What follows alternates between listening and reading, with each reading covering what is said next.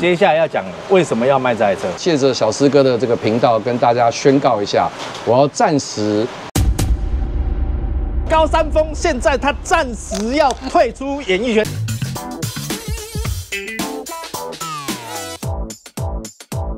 发艺金库，世界无敌大美女徐海丽。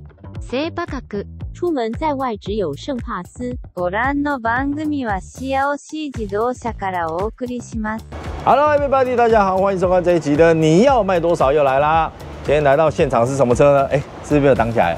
嗯，好不好？今天来到现场是这个，哎，雷克萨斯，哎，拍过了，上次灰色的，上次就是，对不对？对吧？灰色的嘛，对对，同一款对。怎样？林总在夜总会，我们来到现场的是二零一七年的 IS 三百夸弧两百 T 啊，它一律叫三百嘛，啊，其实是二点零 T 的嘛。这个二零一七年的，但是但是 but 它是二零一八年式的，年底出厂的。为什么我知道它是二零一八年式的？阿兰你知道吗？怎么看？旁边有一个名牌，布雷克，黑的上怎么念？Platinum，Platinum。好了，反正就是什么铂黑特仕版，全球限量三百五十台。我觉得这有什么好限量？就有一些套件不太一样啊。这只有一八年式的有黑色的钢琴烤漆的纺锤车头。奇怪，我记得哈、当初应该是黑色五爪的钢琴黑色烤漆的铝圈，可是它是枪色的。怪怪，我记得那时候是黑色亮面，我也不记得它有这个粉红色卡钳。好，不管了，反正它旁边有这个名牌嘛，不知道是不是自己改的。可是呢，我又本来觉得它是自己改，但是有一个地方不可能改，你知道哪里？内装，内装那时候薄黑特仕版就是这种双色，边缘是红的，中间是黑的，还有什么亮银色的这个造型有点不一样，而且这个黑色黑色钢琴烤漆的后照镜啊，对，还有一个升级铝圈升级是十八寸的，原本是十七的，啊，只有特仕版是十八寸，而且怎样加量不加价，多了两片价格不变。当时哈、这一个整批下来啊，我记得它还是用豪华版的价钱，一百六十九万，等于升级了一些小套件。好，三百五十台限量，它好像是庆祝当初是庆祝 Lexus 在台二十周年嘛，所以算算它现在二十六周年。哎，Lexus 在台那时候二十周年，二零一八年二十周年，所以它一九九八年进来，一九九八年是哦，二零一八年的时候二十周年啊，嗯所以它一九九八进台湾的嘛。哎，有那么有那么晚哦，Lexus。跟我一样。那首先呢，我觉得啊，这台车第一眼给我看起来啊，照顾的还不错。虽然它一看就知道没有洗过啦，但这个白色的珍珠漆啊，看起来相当的坚挺，仿佛呢还是原厂漆的感觉。所以我先看一下它的里程数，我觉得这里程数应该高不到哪里去。来八万八千公里，那跑八万八，呃，二零一八年开始开，差不多不到一万五，哎、算算是合理使用。但是以进口车来讲，好、就稍微多了一点；以国产车来讲，一万五以内合理。但以进口车，我们就会觉得偏多一点点，对不对？好不好？那我们现在来看一下板件。等一下等一下，我外观先检查一下，看有没有擦伤。白色的车应该外观巡一下蛮快的。哎、这边稍微卤掉，不过这蜡推一推就推掉了，应该可以吧？这种程度，阿呆那台蜡都可以打了，只不过要打眼睛在嘛眼。睛上了，啊，甚至用喝的，蜡要拿用喝的。哦，后保杆这边也一点点，整体还不错哎，都是很小的地方啦。哦，后轮毂这边，这很小，超细的啦，有没有？哦，非常细。然后它这个有点这个膜有点发黄，看开门小不小心好了。哦，这个开门就有点不小心了，有没有？哦，停他隔壁的车就小倒霉一点。好，看板件，哎，外表整体还不错啦。哦，哎，不错哎，Turbo 嘞，哎，它怎么没标签？它标签嘞？还是它标签贴下面？但当时当时没有贴标签吗？我怎么没有看到它的车身标签？可是螺丝没拆啊。你看，而且它连那个黑黑的那个都还在，有没有？黑黑的那个叫什么灰尘？那一看就知道没拆吧？嗯，连脏都脏得很自然，对不对？哎，对啊，这台全全部都没标签呢，是这样，赶着交车没有贴哦。哎，这台全车没标签呢，很屌。哎，这怎么是软胶？这胶软软的，我压一下。哦，都是软的。哎，它这全车的胶都有点软。当初这一批哇，看到没有？这个导演椅，哦，有篮球，good 啊 good good 啊 good，哎，行军铲，身为一个户外活动的爱好者，车上有支铲子也是合情合理的，警察抓了也奈何不了你，总比放球棒啊，哎，球棒每个人都说哦我是棒球队，不可能嘛，你拿短短的那种球棒，人家想说警察一看就知道你骗笑，哎，对啊，这很合理吧？好像比球棒合理多了。啊，要不然你可以拿一个那个啊，人家在炒炒饭的那种大的那种插本黑那个大的那种条根也可以啊，那个拿来打架也是蛮猛的。啊，我厨师啊，我得炒快炒的呀。好像有养小狗哦，这是不是狗毛？还 QQ 的呢。啊，这个是卷的，你有看到？啊，我很卷呢，啊，玉米须哎。好，螺丝都没转，OK。没问题。来看一下内装的部分，引擎看起来不太有问题。我想类瑟斯的引擎不太用担心，基本上大家查一下嘛。我们现在来估车，我们都请车主出示证明嘛。好，第一个是不是一手车，有没有原厂保养，然后画押嘛。哦，如果里程不准赔三百万哦，比如说，然后加盖手印，万一回来发现调表，告死他嘛。对，现在都这样处理就好了嘛。跟我们买车的也不小心买到，我们就跟他一人一半这样，比如说嘛。啊啊，最坏的状况我们全部捐出来嘛。也有公益团体会受惠嘛，哎、不错吧？对啊，比比卖车还好赚。好，看一下内装，这个一看就知道这个身材还不错，车主。还有副驾驶，它这个皮算是很软的皮，你看很挺，对不对？嗯，也没有什么皱褶，哎，跑八万多，你你你真的可以特写拍。我真的觉得它这个皮真的是，它你看它脚都已经磨到这样了，它的脚踏垫，Lexus 的那个罩门呐、就是方向盘，Lexus 的方向盘很容易被你磨到光滑，很奇怪。哎、有没有亮亮的？我觉得这个不是车主的问题啦，是材质的问题。材质的问题。Lexus 的方向盘特别容易光滑，我预预估啊，但凡你只要比较手比较粗或比较容易流汗，大概五万公里、六万公里，大概就这样。Lexus 很快，不知道为什么，我估很多都这样。好，先发动一下啦。哎、还在听 CD 呢。肩膀上面洗带啊，给我两下 CD，另外这上面哦耶，Daddy 赛、妈咪赛，哎，这小朋友的哎，这应该小朋友听的啦。然后这里是我看，哦，该不会都听小朋友的吧？没有没有没有。Zoo Let's Dance，哦，有啦有啦，人家还是，哎、现在还有人在买 CD 耶，哦，这玻璃佳音呢，玻璃佳音它过来了，伊在迄林强，你知道？就是玻璃佳音呢，欧联北啊，你知道？哦，然后它这个是法丝纹的排挡头，我看一下，排挡头跟方向盘一样哦，你看，它才排八万而已，其实排挡头就，你看有点磨损了，有没有？所以你看它这个材质都是一样的，你看差不多八万多公里就变这样了。哎、拢目镜呢，车顶全目镜呢，真的是有多爱戴眼镜，一个眼镜，这边一个眼镜，还有。这边还有，三个、这边还有嘞，什么三个？这里还有，四个，是有多爱戴眼镜。哎、给我丢枪呢！劝君谋事在秋冬，未可留心春夏中。若要急行无好步，何如且等莫匆匆。就是你要做什么事情，好、最好秋冬的时候做。要换工作，要做一件大事业的时候，你可以在春夏的时候计划。你如果太急的话，不会有好下场。何如且等莫匆匆啊，更简单了吧？你就等，不要急，莫匆匆，不要急着做。Just wait 啊，做事不要急啊，秋冬再做决定啊。哎、不行，我这样讲，他会说，那我秋冬再来卖车。啊，要做决定。也快。我本来想换车，但我秋冬再来卖好了。已经秋了啊，已经秋了，它那个应该是立秋了对，立秋已经立秋了，嗯那为什么还在下雨？看这个老师，打刚落哦，行李不要走啦。你看一下，每天妈下雨打雷。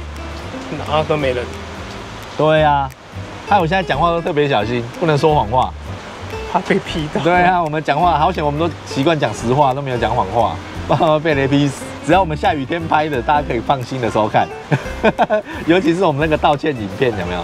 都是下雨天拍的，绝对没有问题，好不好？好，没有天窗了哦，豪华版的，好不好？目前看起来内装我觉得挺不错的哈。哎，我跟你讲，不过这个车主有一个，我不知道这算不算好习惯啊？坦白说，我是没有这个习惯的，就是他停车冷气会关掉。害我妈的！我现在才发现我满身大汗。你下车会关冷气吗？我下车会关冷气啊。来来来来看小师长知识来了。以前哦，的确是会有这种说法。比较老的车子啊，哦，就是说在你在这个下车前呐、先把 AC 按掉，开送风，让室内的部分冷媒管呐、先吹，让这个冷气都冷媒都凝结完以后回流到管路之后，你再关掉下车。有一种说法是你下次一发动的时候呢，这个车子啊吃重电重负载，嗯为什么？因为你一转，可能压缩机就吃重电嘛，嗯，对不对？以前老车是有这样的说法，但是现在新的车都有保护机制，现在其实新的车不用了。其实你在发动的时候呢，其他不必要的东西是跳脱的状态。现在新的车，就算你冷气下车的时候没关，你发动以后，你会发现冷气要隔个几秒，它才会自动吹。阿丹，你有没有发现这件事情？比较老的车，你只要一过电，风就开始吹了。嗯，但是现在比较新科技的车，你一过电的时候，风不会马上出来，你要发动过个两三秒，风吹以后过个几秒钟，冷媒才会开始流动，压缩机才会开始启动，就是冷的比较慢。你下次可以注意一下，现在比较新的车都有保护，所以呢，其实不太需要关冷气的，懂意思吗？嗯它会保护。好，接下来我们就看后座。知道我们有看到有爹爹爹爹地赛跟妈咪赛了嘛？嗯代表有小朋友了，嗯所以后座要认真看。来，哎、不过啊，没有那个婴儿座椅的痕迹耶，可印子。可见这个小朋友有点年纪。这台车应该是买的时候小朋友已经不用坐座椅。哎呀，有没有像福尔摩斯？不是福尔摩沙，我差点讲福尔摩沙。那差不多啦，这个车基本上呢没有碰撞，外表也顾得还不错，里程数八万多，其实就稍微洗压给一下方向盘跟这个排挡头，好，拉回来机件再做个检查，基本上差不多了。那我们来关心一下车主为什么要卖车，那再接下来跟大家分享，不要回来，马上走开。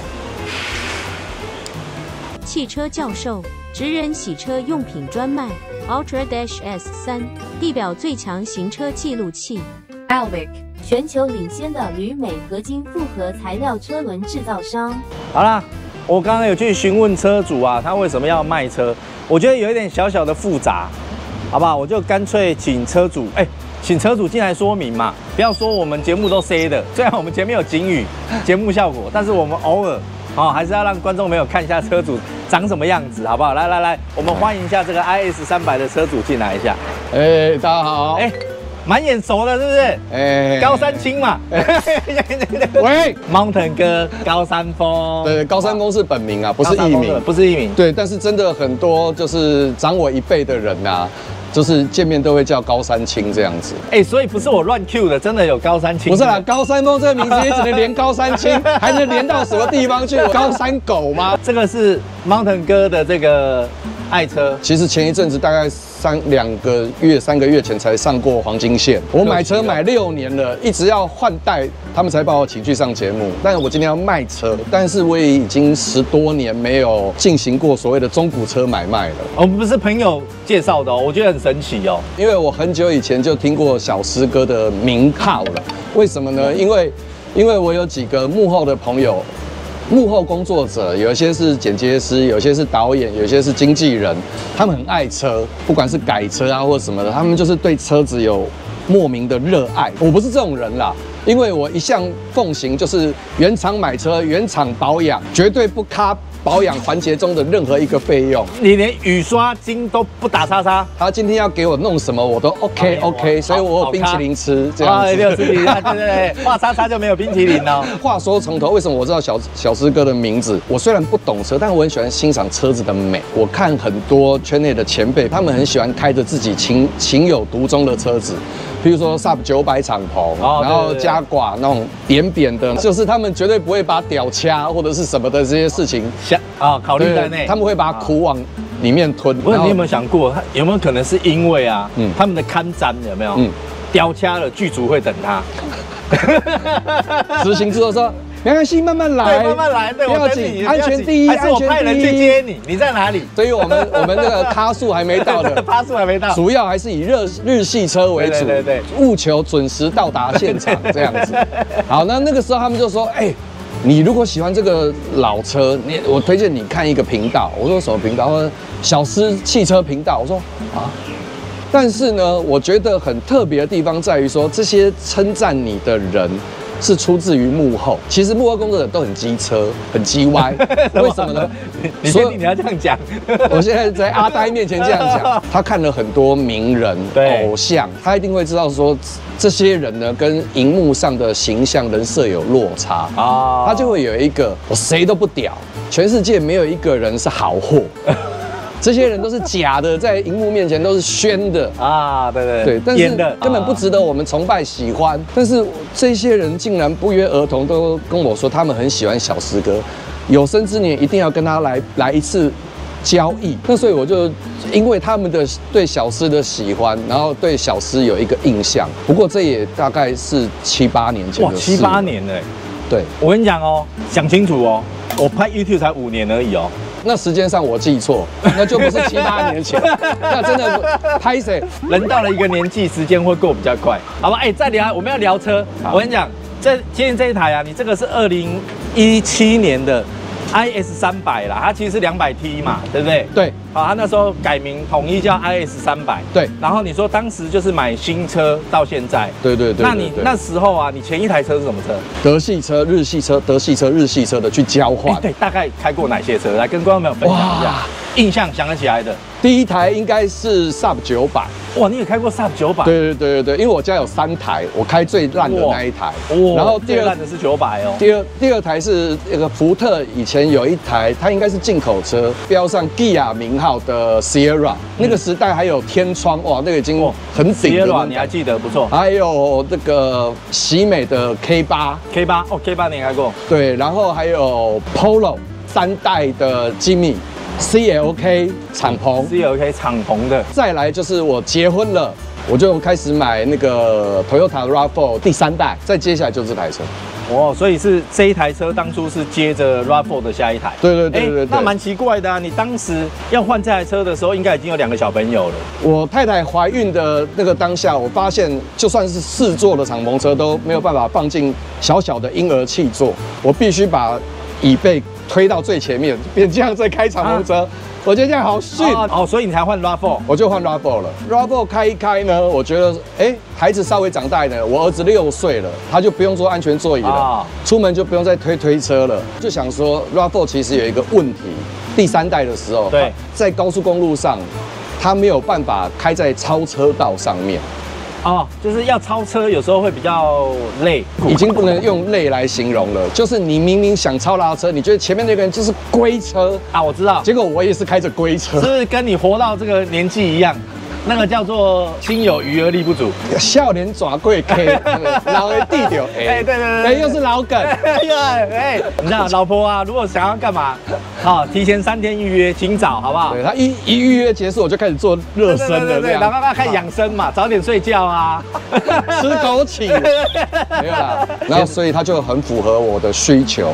那小朋友坐在后面呢，就觉得说，哎，也 OK，就是因为他们已经够大了，，对，已经一百四五十公分了对，所以呢，我在前面开可以开得很开心，这样子。那你开这台车以来啊，可以跟观众朋友分享，就是说你有没有除了保养以外，有什么维修的花费啊，或者是这台车有没有给你造成什么样的困扰过？其实没有哎、因为以我自己用车的经验啊，会给我出一些奇奇怪怪问题的，真的都是欧洲车。保养费用保养费用我觉得还还每一次进，去应该都万把块，有没有？因为我不删单啊，所以都应该都是万把块哦。大保养一定会破万啦，小保养大概七千八千这样哦，那也是蛮贵的，会吗？不便宜啊。一进其实进口车差不多都这样。我只要是跟车厂买车，我就是一路都会回车原厂保养，我也不会因为过了保固，然后跑到外厂去。哦，你所以你这个车一直到现在哦，都还在原厂。都还在原厂。我刚刚有交给那个阿汉，就是嗯今年保养四月份的时候保养的。哇，才保养过啊。对对对对，重点来了，来来来，我看这个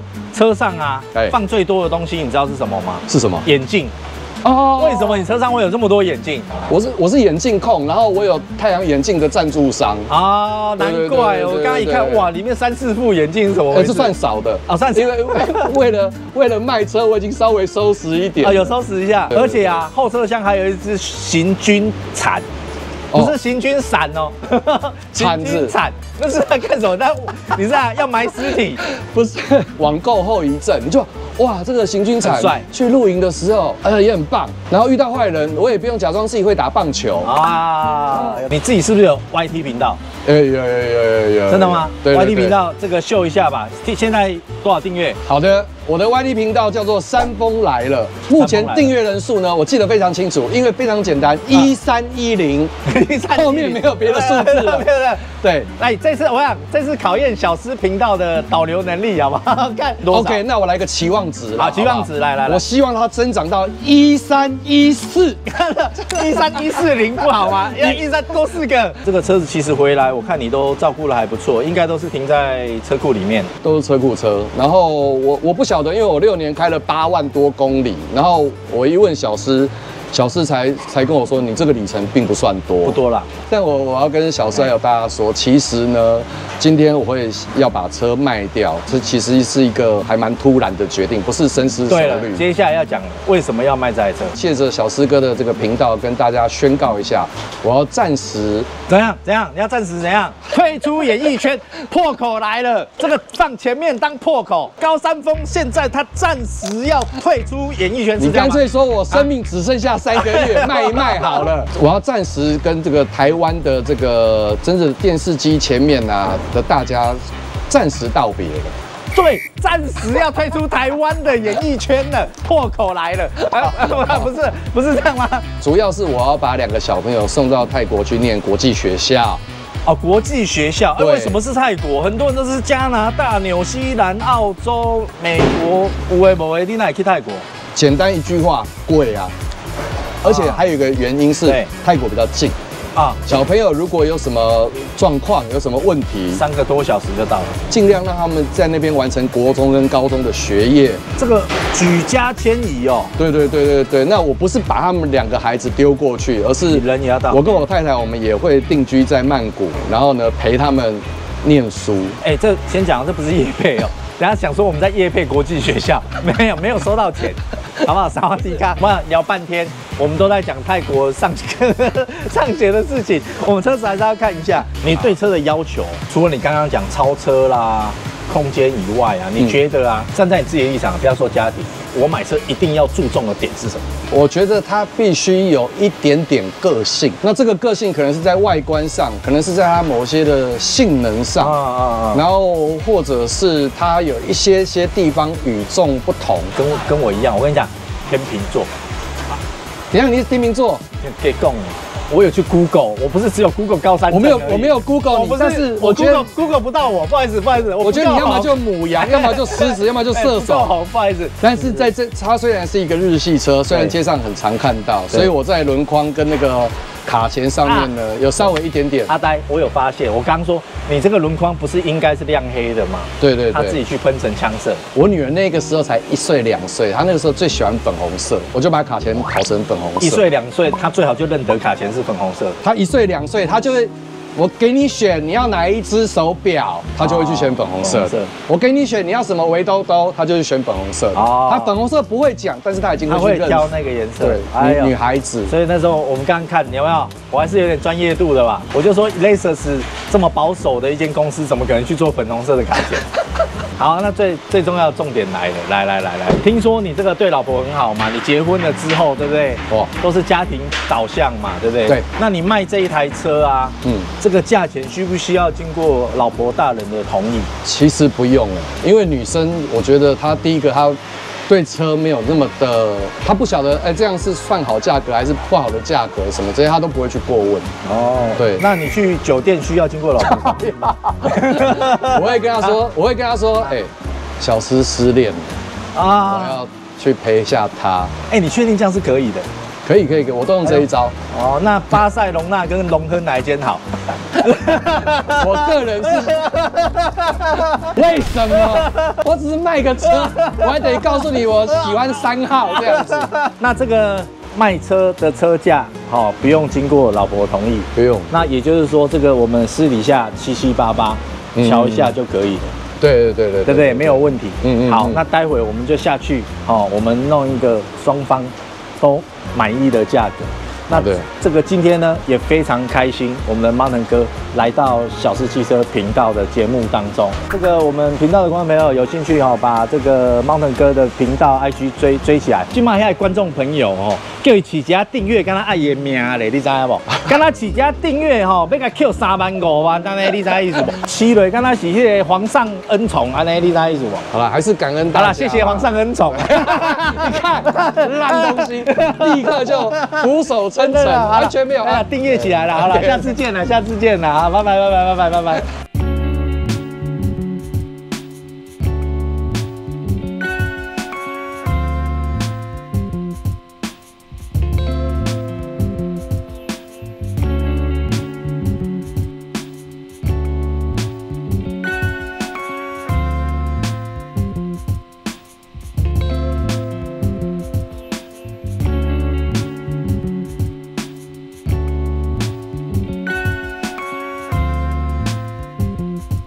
老梗连发，因为你是个爱老梗的人，那我们就今天在节目里面跟你还有跟大家分享一下。真的假的？真的，好，我先来一个简单的，女人生孩子，猜一句成语。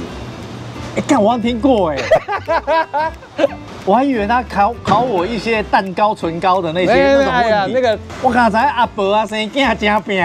四字成语，哎，女人生孩子是什么？血口喷人。